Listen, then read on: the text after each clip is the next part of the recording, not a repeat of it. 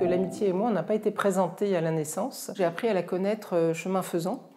Et, euh, bah, je me suis des fois trompée sur elle, elle s'est des fois trompée sur moi. Et donc, euh, je cherchais toujours euh, des réponses à, des questions. Et je cherchais dans des livres, je cherchais auprès d'autres. Et je ne trouvais pas les réponses à mes questions. J'ai eu besoin d'aller à la rencontre des gens. Et donc, du coup, ça m'a donné des idées. J'ai commencé à les classer, à me dire tiens, lui, il me parle de ça, lui, il est dans cette direction, etc. Et donc, ça m'a permis de structurer en fait mon livre. Ce sont les témoignages qui m'ont vraiment permis de le structurer et je les ai fait rentrer dans les chapitres. C'est-à-dire qu'on peut les lire à la fin. Euh, il y a des gens qui adorent lire que les témoignages d'ailleurs.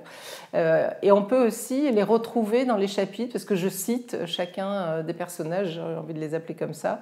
il y a un témoignage d'une personne qui, qui, a été alors peut-être possiblement trahie par une amie, mais qui a gardé l'amitié avec cette personne. 20 ans après, elles se sont retrouvées j'aimais cette idée de se dire qu'il euh, y avait vraiment des façons euh, pour chacun de trouver son chemin. Et donc, dessine-moi un ami, c'était la possibilité qu'un ami ressemble à ce qu'on aurait envie. Je dessine mon rapport à l'amitié. Et d'ailleurs, d'un ami à un autre, euh, mon rapport à l'amitié est différent. J'ai eu envie d'un livre qui laisse toutes les portes ouvertes euh, et qui en même temps nous fait réfléchir et, vient euh, nous rencontrer dans nos vies à des moments où on se demande pourquoi certains amis ne sont plus dans nos vies, pourquoi de nouveaux amis rentrent, si on est heureux ou pas heureux en amitié. Donc j'avais vraiment envie que ça soit un livre de chevet, une conversation en fait Hein, euh, avec, euh, avec mon, lecteur ou ma lectrice, euh, une conversation comme si voilà, il était, on était ensemble et qu'on discutait sur ce sujet.